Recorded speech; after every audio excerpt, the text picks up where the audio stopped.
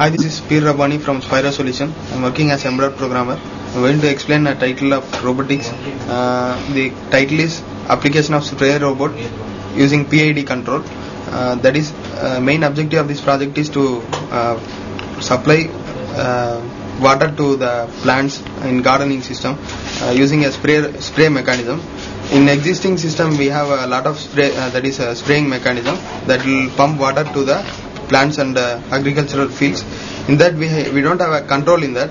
Uh, we are using uh, in existing they are using relays or something to control the water flow.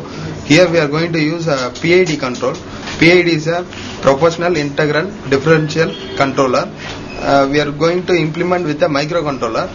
Uh, in that in this uh, project we have two different sections. One is control section and then is uh, robot section. The robot section has uh, RF receiver and control section has a RF transmitter with keypad. The receiver section has robot mechanism fixed with a flow sensor. Uh, the flow sensor is given as a feedback to the microcontroller. That is will sense the water flow from pipe and then uh, that feedback input will be given to the microcontroller. Then it will sense the flow. According to the fixed input will control the motor according to the pump the water flow will be controlled. Now i will show the block diagram of the project. This is the control section with keypad and microcontroller and rf transmitter.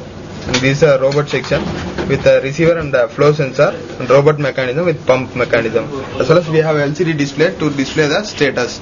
Uh, this project can be used in agriculture as well as gardening uh, applications. uh, this, uh, by using this uh, the plant cannot be affected using uh, force.